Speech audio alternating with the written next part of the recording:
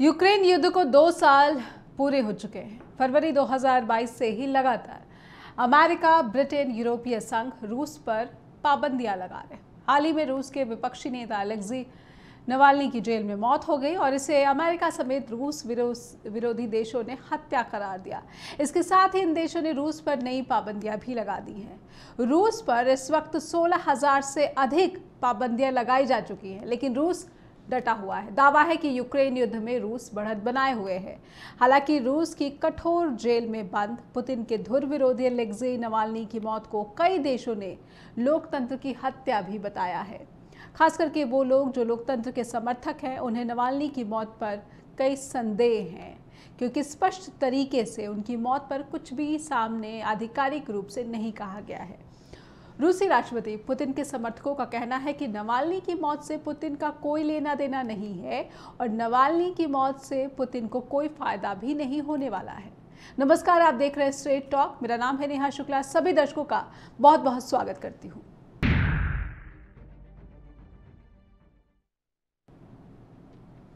तो सवाल यह है कि पुतिन की चुनौती कहे जाने वाले विपक्षी नेता नवाल्नी की मौत क्या लोकतंत्र पर प्रहार है? और नेता नवाल्नी की मौत के क्या मायने निकाले जाने चाहिए? कई और सवाल हैं जो हम चाहते हैं कि स्ट्रेट टॉक में अपने दर्शकों के सामने ये सवाल रखे जाएँ, क्योंकि इन सवालों को भी समझा जाना बहुत ज़रूरी हो जाता है। ये सवाल कुछ इस तरह से हैं। क्या पुतिन की चुनौती कहे जाने वाले विपक्ष के नेता नवाल्नी की मौत जो सामने आई है, इस पर कुछ भी आधिकारिक या फिर स्पष्ट रूप से सामने क्यों नहीं आ सका है? उनकी मौत के कारण क्या है? क्या इसके मायने निकाले जाने चाहिए? क्या रूस में लोकतंत्र का गला घोटा गया है? क्या इस तरह की बातों को जो अटकलें लग रही हैं, जो क्योंकि अस्पष्टता है उससे क्या ये कहा जा सकता है कि रूस में लोकतंत्र का गला घोटा गया है? क्या नवाल्नी की मौत से पुतिन को चुनाव में कोई बड़ा फ़ायदा पहुँच जाता? क्योंकि वहाँ पर पहले से ही जो पुतिन की पार्टी है वो एक पक्षीय पार्टी की तरह ही बर्ताव करता ये देश नज़र आ रहा है लंबे समय से। और क्या मौत से पहले नवाल्नी को सबसे कठोर जेल भेजा जाना किसी साजिश का हिस्सा था? किसी साजिश के तहत नवाल्नी को रूस की सबसे कठोरतम जेल भेजा गया था और इसका उनके दोस्तों परिवार के लोगों को पता भी नहीं लगा था भनक भी नहीं लग पाई थी। बाद में खुलासा हुआ कि उन्हें वहाँ पर जेल से शिफ्ट कर दिया गया है। हमारे साथ बहुत ही प्रबुद्ध पैनलिस्ट जुड़ चुके हैं। आइए स्वागत कर लेते हैं। फॉर्मर एम्बेसडर है हमारे साथ जुड़े हुए हैं केतन शुक्ला। केतन सर बहुत बहुत स्वागत करती हूँ मैं आपका स्ट्रेट टॉक में। और रूस से जो खबर निकल कर आई, अलेक्जेई नवाल्नी की मौत। सबसे पहले मैं समझना चाहूँगी कि आप नवाल्नी की मौत को किस तरह से देख रहे हैं? क्योंकि अमेरिका समेत जो वेस्टर्न वर्ल्ड है, उसने रूस पर नई पाबंदियाँ लगा दी हैं नवालनी की मौत को देखते हुए। नहीं, ये बहुत दुखद घटना है। और जैसा आपने कहा कि उनकी मौत बहुत संदिग्ध उसमें हुई है। डेमोक्रेसी के लिए बहुत बड़ा धक्का है पर अब ये अब हम कई बार बात कर चुके हैं कि कुछ देश जो है वो एक और ऑटोक्रेसी है। तो अब पुतिन को हम डेमोक्रेसी कहेंगे। मार्च में इलेक्शन होने वाले हैं जिसका रिज़ल्ट अभी से सारी दुनिया को विदित है। जी। तो ये जो घटना घटी है काफ़ी यंग एज में गुजर गए 1976 में उनका जन्म हुआ था 47 इयर्स एज में। जी।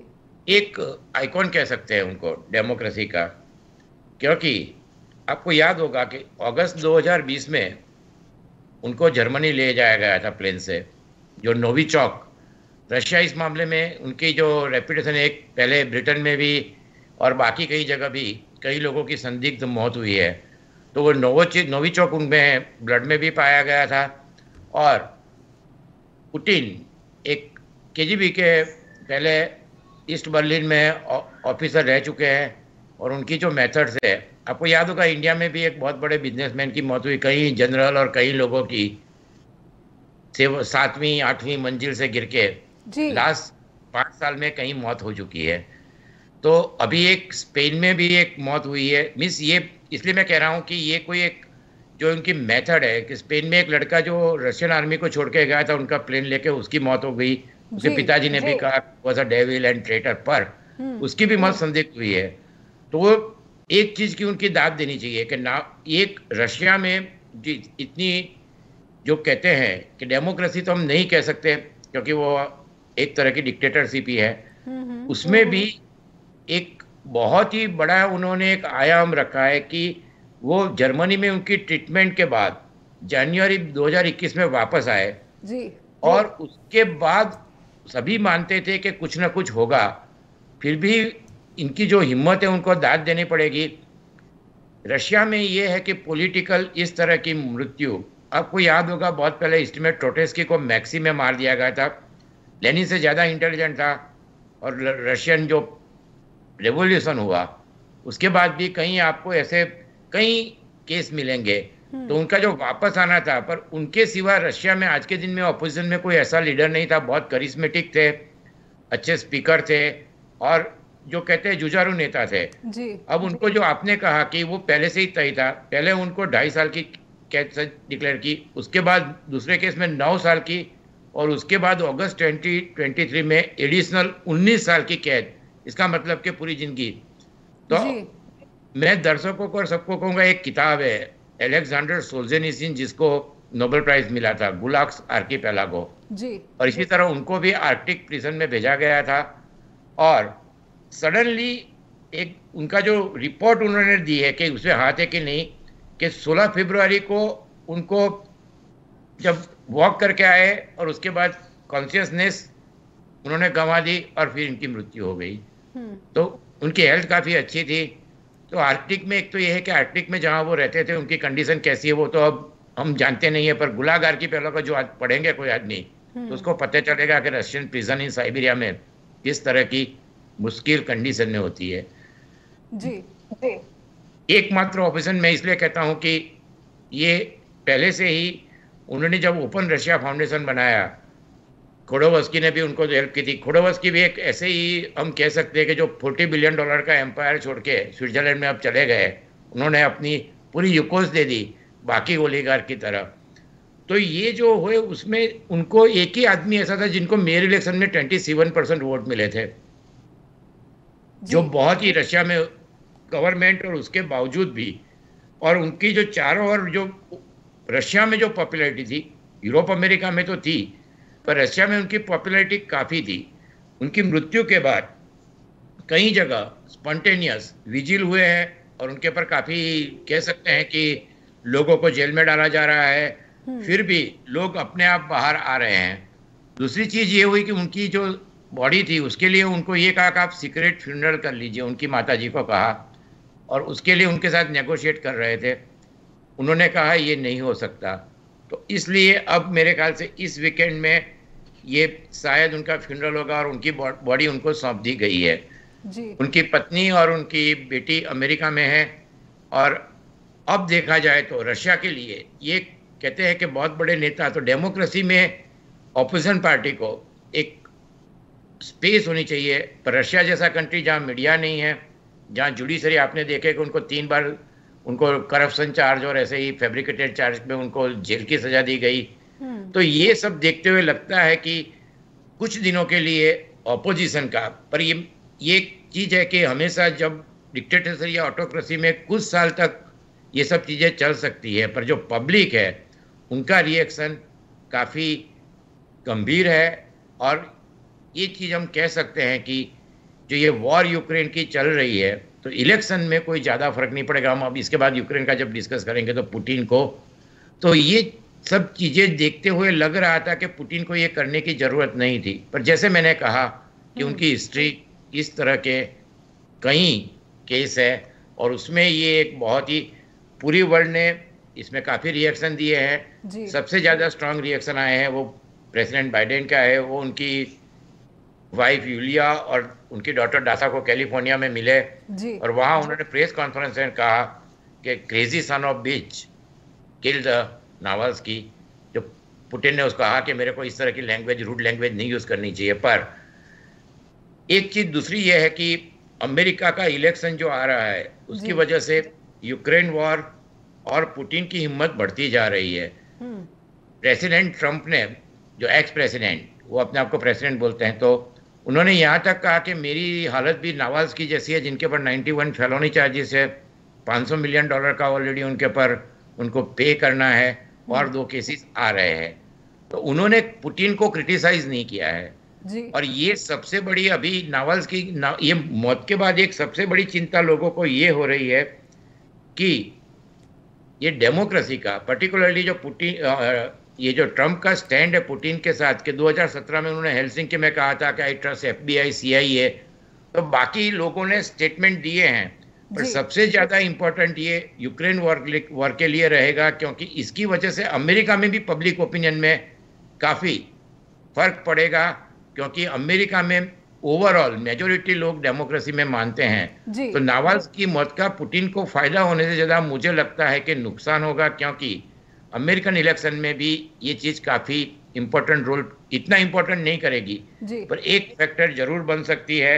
और एक दूसरी जो चीज़ है कि वहाँ पे एक दूसरे वेस्टर्न कुछ ऑफिसर ने कहा है कि शायद उनका रिलीज़ हो सकता था। एक आपको याद होगा कि एक एफ़ एस बी ऐसे जर्मनी में कार्सिकोव है तो उनके सामने पॉल वेलम और इवान दो जर्नलिस्ट और इनकी बात हो रही थी कि तीनों का और ये टकर कार्लसन वो भी एक बहुत जैसे उनको कहा हमारे वहाँ भी ऐसे एक दो जर्नलिस्ट उस तरह के थे वो रशिया गए थे।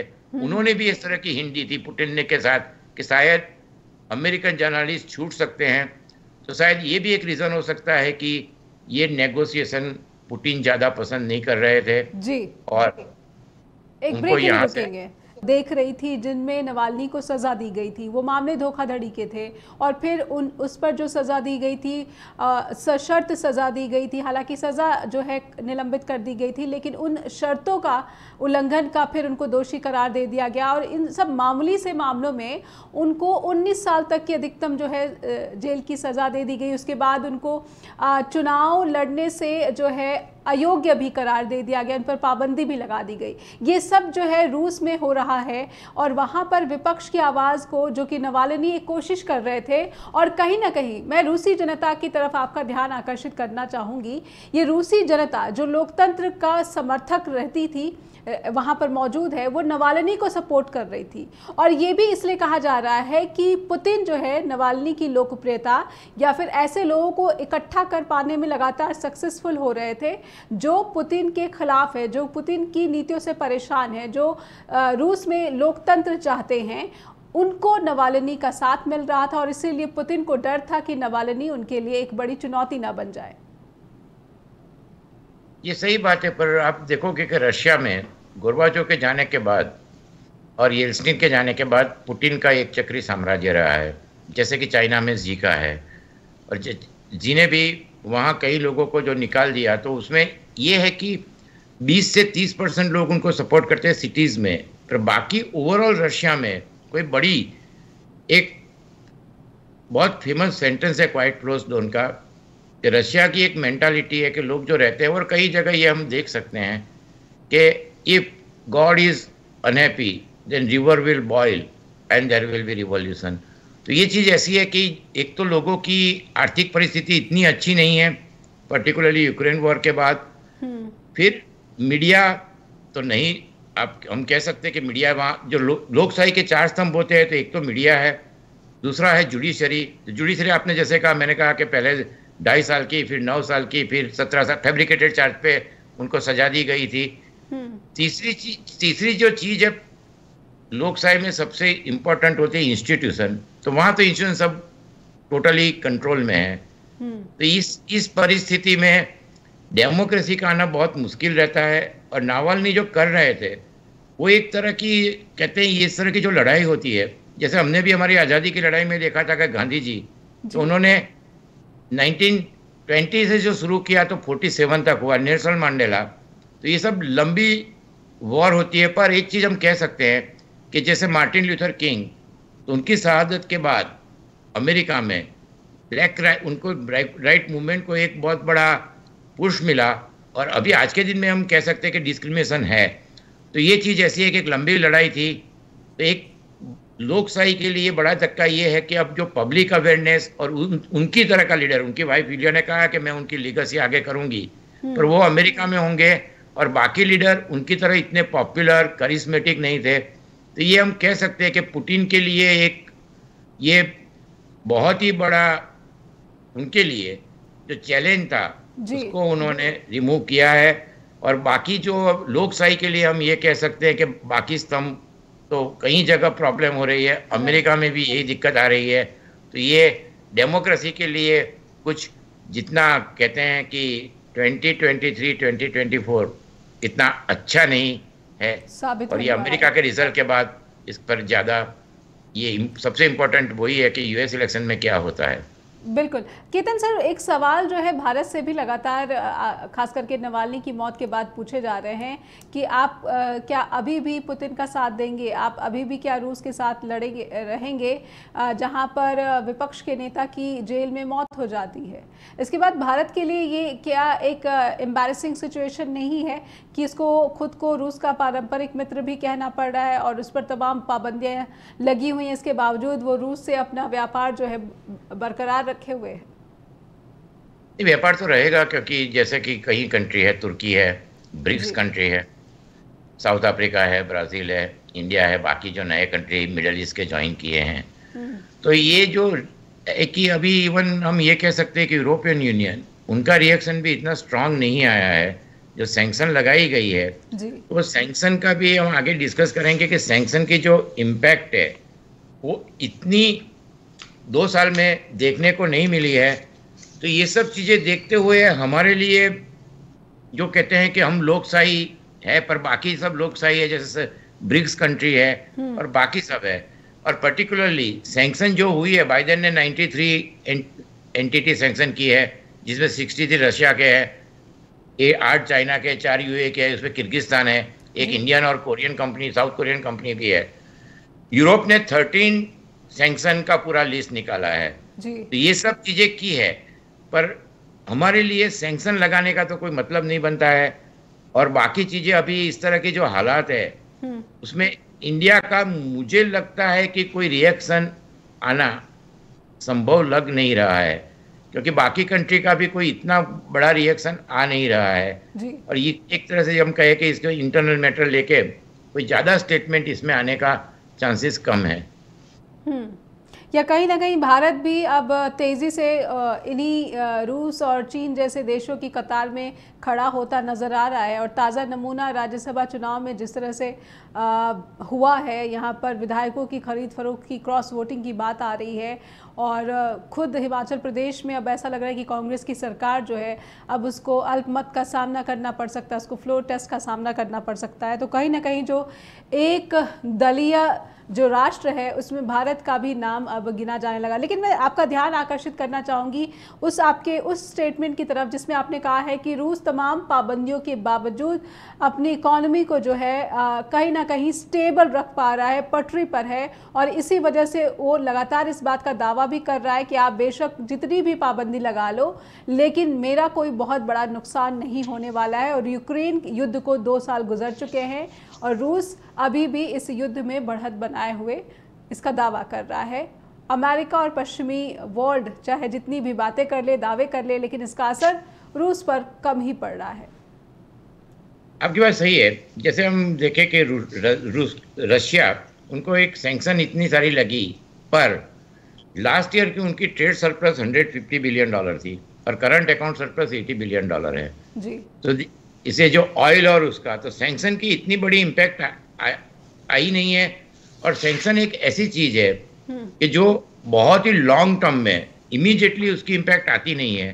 तो यूक्रेन वॉर में पर्टिकुलरली एक चीज़ हुई कि कि वेस्ट का जो ऑयल और ख़रीदना उन्होंने कम किया और डिपेंडेंस कम हुई पर चाइना इंडिया तो एशियन कंट्रीज़ उनका जो ऑयल खरीद रहे हैं तो जैसे उनका ओवरऑल इकोनॉमी में कोई दिक्कत आई नहीं है। आपने जो कहा यूक्रेन वॉर यूक्रेन वॉर के दो साल अभी पूरे हुए और एक चीज़ हम कह सकते हैं एक ही पॉजिटिव चीज़ है कि जनरल मिलर ने कहा था सात दिन में यूक्रेन ध्वस्त हो जाएगा और अब दो साल के बाद भी यूक्रेन खड़ा है और लड़ रहा है। ये सबसे पहली चीज़। ये बहुत ही इम्पोर्टेंट है कि इसमें यूक्रेन का खाली फेट नहीं है पर पूरी दुनिया की सेप चेंज हो सकती है। अमेरिका ग्लोबल पावर रहेगा नहीं ये भी इसी उससे डिसाइड होगा। और तीसरी इंपॉर्टेंट चीज़ है डेमोक्रेसी कि जितनी भी डेमोक्रेसी है पर्टिकुलरली यूरोप उनके लिए भी ये बहुत ही महत्वपूर्ण है।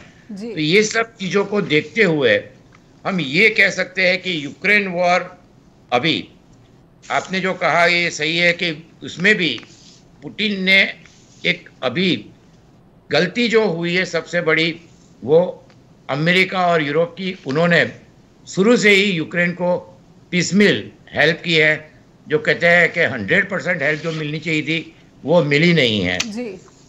पर रशिया का भी इसमें काफ़ी नुकसान हुआ है। इकोनॉमी जैसे मैंने कहा इतनी उस पर इम्पैक्ट नहीं हुई है। पर अब ये वॉर इकोनॉमी हो गई है। इंडस्ट्रियल प्रोडक्शन जो है वो वॉर वॉर के लिए ज़्यादा हो रहा है।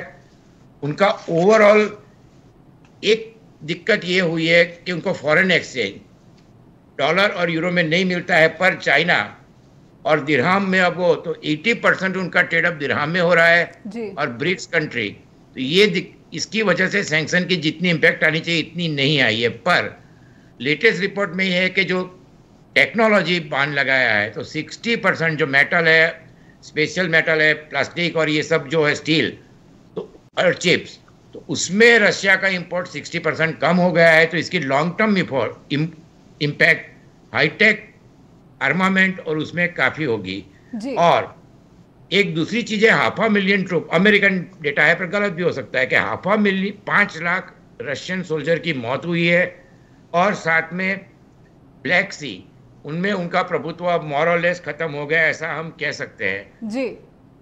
तो ये है कि ये नुकसान हुआ है अद्वई का और आपने जो कहा कि अद्वई का अद्वई का एक बहुत स्ट्रेटेजिक रेलवे स्टेशन था और वो था पर वो अब अद्वैका को हम ये कह सकते हैं कि it was not even rubble it was ashes वहाँ कुछ नहीं रहा है कोई इंफ्रास्ट्रक्चर नहीं रहा है।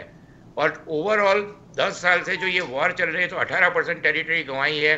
जी। 500 मीटर खाली सब जगह पे रशिया का थोड़ा बहुत एडवांस हुआ है। आगे अब बारमुत अब बाकमुत में होगा बाकमुत गुआने के बाद अब मुझे लगता है ओडिशा की और डोस्टेक की और उनकी मूवमेंट होगी।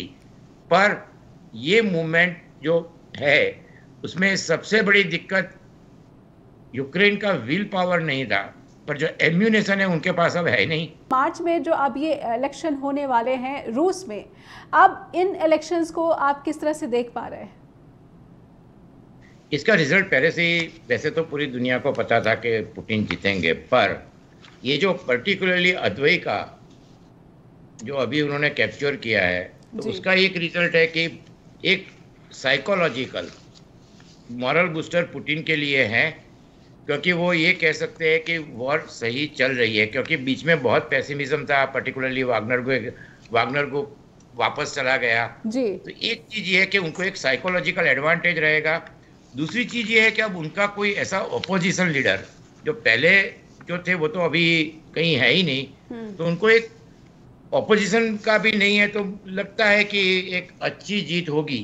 पर इसमें एक चीज़ ये है कि हम ये कह सकते हैं कि Ukraine war first year survival था सेकंड ईयर रेजिलियंस था।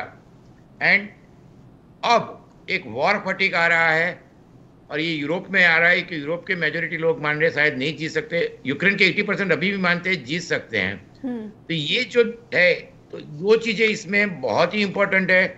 एक जर्मनी में डेयर स्पीकर में भी रिपोर्ट है कि जर्मनी इंडिया से एम्यूनेशन बाय सबसे बड़ी दिक्कत ये है कि जो यूक्रेन वॉर शुरू हुई तब यूरोपियन यूनियन में आर्मामेंट या उसकी कोई इंडस्ट्री कोई वॉर कोई प्रोडक्शन ही नहीं था। और अमेरिका ने भी सोचा था कि उनके पास जो इतने रिज़र्व है उसके तो एक एसिमेट्रिकल वॉरफेयर हो गई है कि जिसमें रशिया तीस तीस तीस साल तक सुपर पावर रहा उनके पास काफ़ी आर्मामेंट था तीस साल में और एक सुपर पावर था। जबकि अमेरिका में आपको ताजुब होगा कि उन्होंने दो मिलियन सेल यूक्रेन को सप्लाई कर रहे हैं पर और उनको दो लाख सप्लाई करने के लिए प्रोडक्शन कैपेसिटी बढ़ा के भी वो 2025 में कर सकते हैं। यूरोप ने उनको 30 परसेंट ही सप्लाई किया है। तो ये एम्यूनेशन जो कहते हैं तो आज के दिन में तीन तीन चार कंट्री के पास है। यूक्रेन को सप्लाई कम हो रहा है दूसरी चीज़ है ईरान और नॉर्थ कोरिया अगेन दोनों का आर्मामेंट इंडस्ट्री काफ़ी तो ईरान ने ड्रोन और मिसाइल सप्लाई किए हैं। कोरिया ने भी उनके भी मिसाइल्स वहाँ तीस चालीस नॉर्थ कोरिया के मिले हैं। जी। और चाइना ने अभी तक उनको कोई सपोर्ट नहीं किया पर फाइनेंशियली देखा जाए तो चाइना ने सैंक्शन जो थी उसकी। तो ये सब चीज़ देखते हुए तीन चीज़ें हमें ध्यान में रखनी पड़ेगी। सबसे पहली चीज़ की ये प्रॉब्लम क्यों हुआ है? हम्म। तो जो 60 बिलियन डॉलर की जो उनकी एड थी वो एड रुक गई है। जी। और अमेरिकन कांग्रेस ऑटो पायलट पे है क्योंकि इसमें ये कह सकते हैं कि आज पहले उन्होंने उनके डिफेंस सेक्रेटरी को इम्पीच करने की कोशिश की पहली बार अनसक्सेसफुल दूसरी बार की। मेजोरिटी खाली दो की है। पर जो जॉनसन उनके स्पीकर है पहले वाले स्पीकर मैकार्थी को निकाल दिया तो ट्रंप का ट्रंप के स्टेटमेंट जो है तो वहाँ थर्टी परसेंट जो पॉपुलेशन है वो उनको ब्लाइंडली सपोर्ट करता है। वो हर जगह ऐसे है कि जहाँ जहाँ जीतते हैं वहाँ थर्टी थर्टी थ्री परसेंट जिसको वोट हो गए कन्फर्म तो उनका एक बहुत बड़ा बेस रहता है। जब तक और सेनेट ने आपको ताजुब होगा कि सेनेट ने 60 30 से ये पास कर दिया है bill 19 billion for the Israel 60 billion for the Ukraine nine billion for refugees Gaza refugees और ताइवान तो अब एक सबसे बड़ी चीज़ ये है कि हम- अमेरिका सुपर पावर है, पर उनको सिक्योरिटी वो प्रोवाइड ताइवान भी। ये ताइवान में कुछ होगा नहीं, क्योंकि चाइना की इकोनॉमिक सिचुएशन इतनी अच्छी है नहीं, और वो अभी अगले पाँच या दस साल तक इस तरह का जोखम उठाने के लिए कोई कोशिश नहीं करेगा। पर यदि ये एड नहीं मिली तो यूरोप में आपने देखा कि मैक्रोन ने मीटिंग बुलाई थी, जिसमें क्लोज और सब थे। उन्होंने ये कहा है कि इवन वहाँ तक स्टेटमेंट दिया स्लोवेनियन प्रेसिडेंट ने, कि शायद आर्मी भेज यूरोपियन आर्मी जाएगा। और मैक्रोन ने ये कहा है कि ये पॉसिबिलिटी रूल आउट नहीं कर सकते। हम्म। तो लाफर ने कहा कि is talking like a war leader पर। सबसे बड़ी इंपॉर्टेंट चीज़ ये है कि यदि यूक्रेन को सपोर्ट नहीं हुआ तो आगे जाके इमीडिएटली मोल्दोवा पोलैंड और फिर बाकी कंट्री का जैसे मैंने कहा कि वो ये प्रोडक्शन है वो कोई इतना अच्छा नहीं है। So Ukraine is very important और ये 1939 सेकेंड वर्ल्ड वॉर की तरह पीस ऑफ़ आवर टाइम करके इसको यूरोप या अमेरिका नहीं करेंगे। नाटो की दिक्कत ये आ रही है कि अमेरिका के इलेक्शन में क्या होगा? क्योंकि आपको याद है 2017 में नाटो तहस नहस हो गया था। हम्म। अब जापान साउथ कोरिया जर्मनी सभी ने अपना डिफेंस बजट बढ़ा दिया है। हम्म। और पर्टिकुलरली उसमें एक चीज़ ये हो सकती है कि वेस्ट अमेरिका और तो जो मिसाइल्स है वो अभी भी जर्मनी इतनी जल्दी तोरस मिसाइल देने के लिए तैयार नहीं हो रहा है जो बड़ी ताजुब की बात है। पर शायद drones F sixteen aircraft E T M S missile. ये सब चीज़ें यदि अगले दो या तीन महीने क्योंकि अब रशिया अभी इमीडिएटली ये स्टेलमेंट जैसा ही है जैसे मैंने कहा। जी। ये सब उनको आर्मामेंट मिलेगा बजट पास हो जाएगा क्योंकि नावाजकी के देश से अमेरिका में कोई इतना बड़ा चेंज हुआ नहीं है कांग्रेस के दिमाग में। जी। और जो सेंसिबल 10 या 15 परसेंट कांग्रेस मैन है वो सोच रहे हैं शायद इस बिल को किया जाए तो भी एक महीना लगेगा। तो जब तक ये एड नहीं आएगी और आर्मामेंट नहीं आएगा तब तक स्टेलमेट रहेगा पर ये बहुत ही इम्पोर्टेंट चीज़ यूरोप और सभी डेमोक्रेसी के लिए है। कीर्तन सर, आपसे बातचीत में ये समझ में आ रहा है कि 2024 में जो हालात और समीकरण निकल कर सामने आ रहे हैं, ऐसा लग रहा है कि लोकतंत्र पर प्रहार सिर्फ़ रूस में ही नहीं और इससे ही जुड़ा है अमेरिका अमेरिका के राष्ट्रपति चुनाव। और यहाँ पर भी अगर जो स्थिति अभी दिख रही है शायद यहाँ पर भी जो है एक्सट्रीमिस्ट जो आइडियोलॉजी है, वो बढ़त बनाए हुए है। उसको कहीं ना कहीं अभी जो है एक बढ़त दिखी हुई है सिचुएशन उसकी मज़बूत दिख रही है। आपका क्या ओपिनियन एक चीज़ है कि ट्रंप प्रेसिडेंट के कैंडिडेट बनेंगे वो अब हंड्रेड परसेंट श्योर है। नीक हाली को जो अभी मिले चालीस परसेंट पर इसमें दो तीन चीज़ें डेमोक्रेसी के लिए बहुत इंपॉर्टेंट है। अमेरिका में उनके जो केस चल रहे हैं फाइव हंड्रेड मिलियन डॉलर जो उनको फाइन हुआ है उनकी हालत बैंक की है। दूसरी इंपॉर्टेंट चीज़ ये है कि ट्रंप को जो सपोर्ट करते हैं उसमें तीन तरह के लोग हैं। एक रिलीजियस फंडामेंटलिज्म जो इवेंचुअली एक पेस्टर और वो सब लोग हैं। दूसरे अनएजुकेटेड जो अंडर ग्रेजुएट जिन्होंने किया नहीं है। और तीसरे जो हम कह सकते हैं कबाल के सब सुपर मासिस्ट एंटी रेसिस्ट हर तरह के अलग अलग तरह की विचारधाराओं वाले लोग अल्ट्रा राइट ये तीनों का एक जो कहते हैं शंभू मेला जैसा है। तो इसमें यह है कि उनकी 30 परसेंट या 35 परसेंट वोट बैंक तो अच्छी है, पर मीडिया का भी रोल है कि कुछ majority some of them folks और ये सब मीडिया जो कि बाइडेन की ज़्यादा हो गई है, गाफे कर रहे हैं, पर ट्रंप का दिक्कत मुझे ये लगता है कि डेमोक्रेसी के लिए सबसे इम्पोर्टेंट चीज़ इसलिए होगा कि यूरोपियन यूनियन यदि जो नाटो बाइडेन ने ठीक से सेट नहीं किया होता। दूसरी गाजा वहाँ के अरब लोग काफ़ी परेशान हैं मिशिगन में भी अभी बाइडेन क्या पर अब्राहम एकॉर्ड और जेरूसलम को कैपिटल और वेस्ट बैंक में सेटलमेंट ये पूरा का पूरा प्रॉब्लम 2017 में अब्राहम एकॉर्ड के बाद शुरू हुआ था सऊदी अरेबिया ने उनके दामाद को दो बिलियन डॉलर दिए थे हम्म। और उनको सऊदी अरेबिया के अरेबिया के क्राउन प्रिंस को उन्होंने री किया कह सकते हैं कि रिहेबिलिटेट किया तो ट्रंप वापस आए तो सबसे बड़ी दिक्कत ये हो सकती है कि उन्होंने अब तो इनका पूरा जो मारा लागो में टॉप सीक्रेट डॉक्यूमेंट निकले हैं कि उनके वो उनके साथ कुछ शेयर भी किए हैं उनके फॉरेन मिनिस्टर के साथ इस तरह का। तो ये परिस्थिति में मुझे लगता है कि जब इलेक्शन पास आता जाएगा ऐसे ऐसे बाइडेन की इकोनॉमी काफ़ी अच्छी है 3.5 परसेंट उनका ग्रोथ रेट है अनएम्प्लॉयमेंट पिस्तालीस साल में कम है। हम्म। और गाजा का गाजा का ऐसा दिख रहा है कि नेथानियाहू जैसे पुतिन को भी ये फ़ायदा है जब तक वॉर है तब तक बहुत स्टेबल है।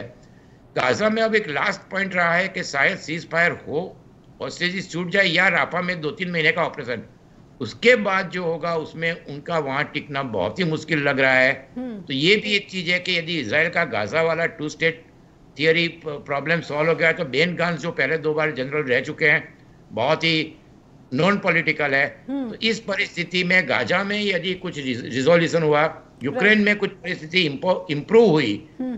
तो ट्रंप के आने के चांसेस नहीवत है और जो उनके साइडलाइन पे जो होते हैं और जो सब अर्ब में रहते हैं तो नी खाली के जितने भी सपोर्टर है वो मेजोरिटी कहते हैं हम ट्रंप को वोट नहीं करेंगे बाकी उनके रोज रोज जो स्टेटमेंट आते हैं हम्म। वो तो मुझे लगता है कि इस सदी में या लास्ट 300-400 साल में भी किसी ने दिए नहीं होंगे और अभी एकेडमिक और स्टूडेंट ने जो प्रेसिडेंट के रैंकिंग किए हैं हम्म, तो हम्म। उसमें बाइडेन को तेरहवा नंबर ओबामा और क्लिंटन से आगे मिला है पर चालीसवा नंबर जो लास्ट है वो अगेन ट्रंप को मिला है।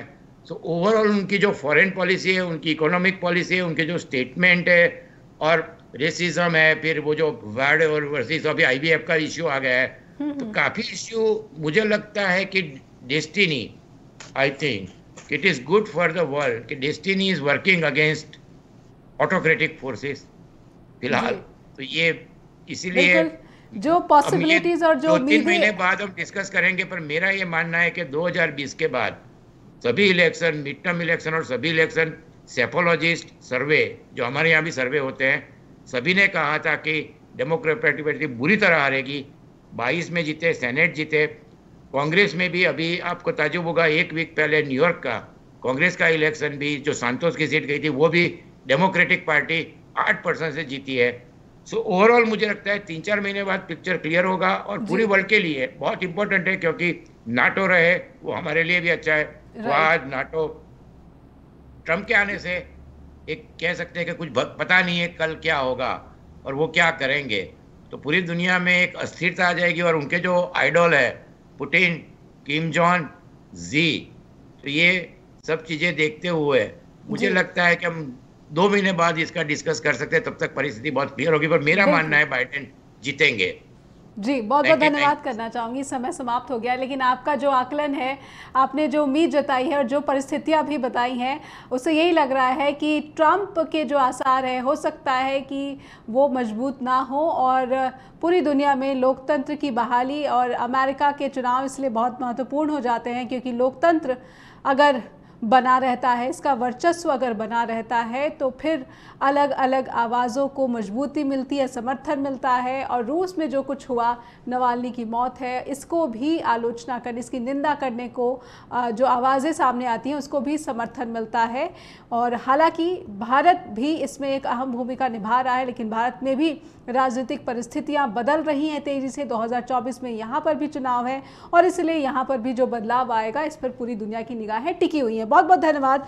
केतन शुक्ला जी, आपने समय निकाला और दर्शकों से अनुरोध करना चाहती हूँ कि आप इस कार्यक्रम से जुड़ी कोई भी शिकायत है या फिर कोई सुझाव है तो आप हमें अपना कीमती वैल्यूएबल फीडबैक अवश्य भेजें info adjust broadcasting dot com और Neha adjust broadcasting dot com पर भी। नमस्कार।